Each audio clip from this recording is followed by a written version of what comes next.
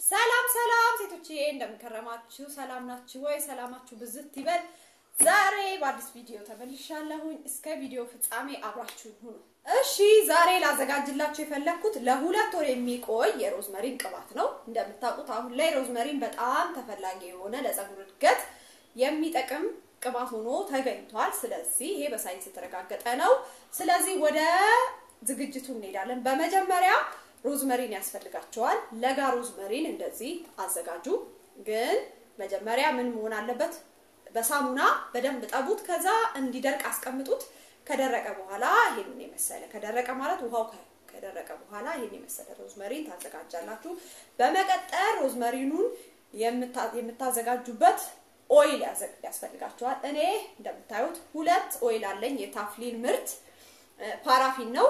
እናንተ በሚመቻችሁ ቅባት መጠቀም ትችላላችሁ። ለምሳሌ እንደ olive oil olive oil ሆኖ ለፀጉር በሚዘጋጀው በ coconut oil፣ የተለያዩ castor oil፣ በተለያዩ oil ማዘጋጀት ይችላል። ዛሬ እኔ በዚህ ብቻ ነው ማዘጋጀው ማለት ነው። ስለዚህ ወደ ዝግጅቱ እንሄዳለን። እሺ ወደ ዝግጅቱ ስንሄድ መጀመሪያ የምናደርገው ሮዝመሪናችንን ከግንዱ መለየት ይሆናል። እንግዲህ እንደዚህ እቃ አዘጋጁ። ከዛ ሮዝመሪኑን ከግንዱ እንለየዋለን። እኔ እንደዚህ አድርጌ ነው የምለየው እና ግን ጫፏ ለጋ ስለሆነች አልጥላት የምጠቀመዋለሁ። ከነግንዱ ለመፍጨት ስለሚያስቸግር ነው። ስለዚህ ጫፏን አስገባለሁ። እንደዚህ መለየት ነው። ሌላ በቃ ምንም ተአምር የለውም። ሁሉንም እንግዲህ እንደዚህ እያደረግን ሁሉንም ለያይተን እንገናኛለን። እሺ ተመልሼ መጥቻለሁኝ። ሮዝመሪኑን ከግንዱ ለይቻለሁ። ለጋ ለጋ part ቷን ግን ከነግንዱ ትቸዋለሁ ለመፍጨት ስለማስቸግር።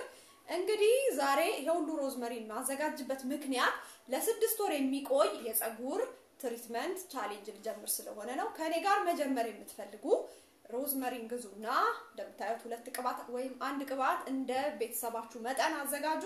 ስለዚህ ለስድስት ወር እናቆየዋለን። እኔ ደግሞ ይሄን ቅባት ለሁለት ወር አዘጋጃለሁ። ባለቀ ቁጥር ደግሞ ቪዲዮ እየሰራው እንድታስታውሱ ለቅላችኋለሁኝ። እስከ መጨረሻው አብራችሁኝ ሁኑ። አሁን ሁሉንም አስገብቻለሁ። ስለዚህ ምን አደርጋለሁ? አንዱን ታፍሊ ጨምርበታለሁ። ታዩት እንጨምርበታለን። ከዛ ሁለተኛውን የምንጨምረው እየፈጨን ይሆናል። የፈጨን ይሆናል ማለት ላይ ሁለተኛውን እንጨምራለን።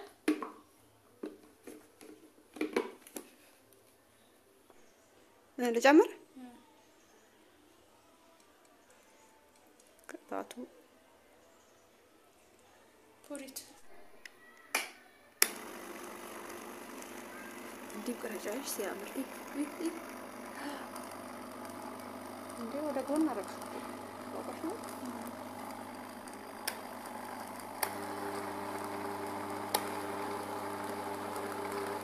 ፖዝ አድርጊና ሲያልቅ ደግሞ ፖዝ ነው። ፈጭቼው ተመልሻለሁ። በዚህ እቃ የገለበጥኩበት ምክንያት የጁሱ ማሽን አልቻለውም። ምክንያቱም በጣም ብዙ ስለሆነ እናንተም ብዙ ከሆነ እንደዚህ በሽንኩርት መፍጫ ብትፈጩ የተሻለ ነው። ስለዚህ አሁን ምን አደርጋለሁ? እገለብጠዋለሁ።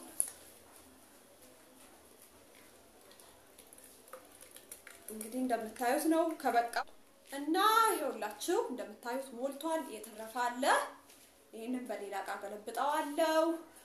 እንዲያርጋችሁ ፍጩና ለሁለት ወር ነው እኔ የምጠቀመው። ስለዚህ ከመጠቀሜ በፊት ምን አደርጋለሁ? ለአንድ ሳምንት ከድኜ በጣም ብርሃን በማይበዛበት ቦታ፣ ፀሐይ በጣም የማይበዛበት ቦታ፣ ብርሃን የሌለበት ቦታ አስቀምጠው። ጨለማ ውስጥ ሳይሆን በጣም ለብርሃን እንዳይጋለጥ፣ ለፀሐይ እንዳይጋለጥ አድርጌ አስቀምጠዋለሁ ለአንድ ሳምንት።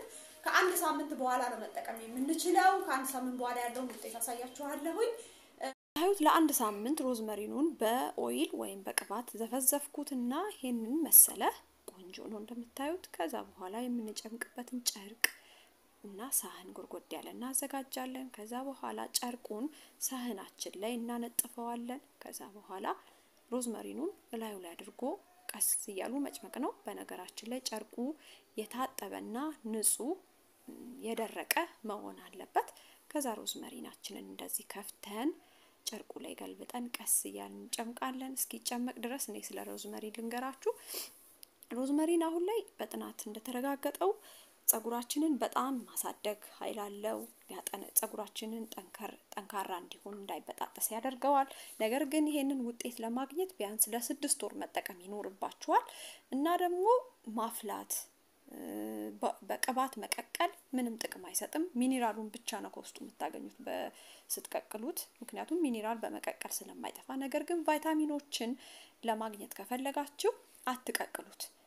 በምንቀቅል ሰዓት ቫይታሚኖች አቅም የላቸውም፣ ይሞታሉ። ነገር ግን እንደዚህ አድርገን ቫይታሚኖች በነገራችን ላይ በሁለት ይከፈላሉ። በወተር ወይም በውሃ አብዞርብ የሚሆኑ የሚመጠጡና በኦይል ወይም በቅባት በፋት የሚመጠጡ ስለሆኑ በፋት የሚመጠጡትን በፋት ወይም በኦይል ዘፍዝፏቸው፣ በውሃ ተመጠው አብዞርብ ሆነው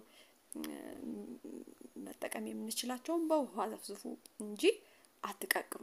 ምክንያቱም በምንቀቅል ሰዓት ውስጡ ያለው ነገር ይሞታል። ሌላ ደግሞ በፋብሪካው የተዘጋጀ ስለሆነ ቅባቱ ደግሞ ቅባቱንም በጣም በምናፈላው ሰዓት ምን ይሆናል ማለት ነው?